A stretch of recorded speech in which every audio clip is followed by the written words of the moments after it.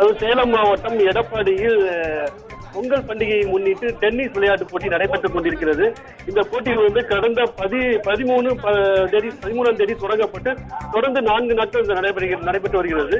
அதாவது எடப்பாடியில் உள்ள இஜிஆர்ஆர் டென்னிஸ் கிளப் அதாவது emperor charge reading room tennis club கிட்டத்தட்ட நூ நூத்தி ஆறு ஆண்டுகள் பழமையான இந்த கிளப் வந்து தற்போது கடந்த முப்பது ஆண்டுகளாக டென்னிஸ் விளையாட்டு போட்டிகள் நடத்தி நடத்தி கொண்டிருக்கிறார்கள். அதன் அடிப்படையில் இந்த ஆண்டு பொங்கல் விழாவை முன்னிட்டு தென்னிந்திய அளவிலான பொங்க டென்னிஸ் விளையாட்டு போட்டி வந்து நடத்தி நடந்து கொண்டிருக்கிறது. இந்த போட்டியில் வந்து கிட்ட- கிட்டத்தட்ட ஆந்திர பிரதேசம் பெங்களூர் கர்நாடகா தமிழ்நாடு உள்ளிட்ட பகுதிகளில் மாநிலங்களிலிருந்து நூற்றுக்கும் மேற்பட்ட அணிகள் கலந்து கொண்டிருக்கிறார்கள். இன்றைய தினம் வந்து காலிறுதி போட்டி நடைபெற்றுக் கொண்டிருக்கிறது. இந்த காலிறுதி போட்டியில் தொடங்குகிறது முதலமைச்சர் எடப்பாடி பழனிசாமி அவர்கள் டென்னிஸ் விளையாடி அவர் வந்து தொடங்கி வைத்திருக்கிறார். முன்னதாக நூத்தி ஆறு ஆண்டுகள் தொடங்குவது இந்த கிளப் நூத்தி ஆறு ஆண்டுகள் தொடங்குவதையொட்டி அதன் நினைவு கல்வெட்டு வந்து முதலமைச்சர் தொடங்கி வைத்து திறந்து வைத்திருக்கிறார்கள். இதனை அடுத்து தான் தற்போது இந்த போட்டிகள் நடைபெற்றுக் கொண்டிருக்கிறது.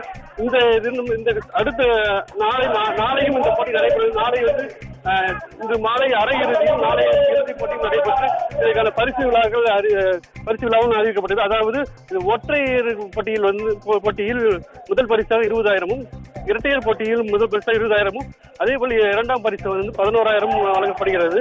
அது மட்டும் இல்லாமல் இந்த தினம் நடக்கக்கூடிய போட்டியில் பார்க்கும்போது திருச்சி மா மாவட்டத்தைச் சேர்ந்த லட்சுமணனும் கோவை மாவட்டத்தைச் சேர்ந்த பாலாஜி என்பவரும் விளையாடியிருக்கார்கள் அவர்களுடைய போ- இடையிலான போட்டியும் முதலமைச்சர் தொடங்கி வைத்திருக்காரு.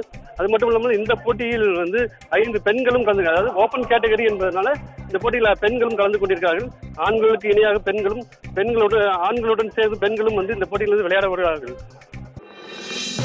இது போன்ற முக்கிய வீடியோக்களை உடனுக்குடன் தெரிந்து கொள்ள நியூஸ் ஜே யூடியூப் சேனலை சப்ஸ்கிரைப் செய்யுங்கள்.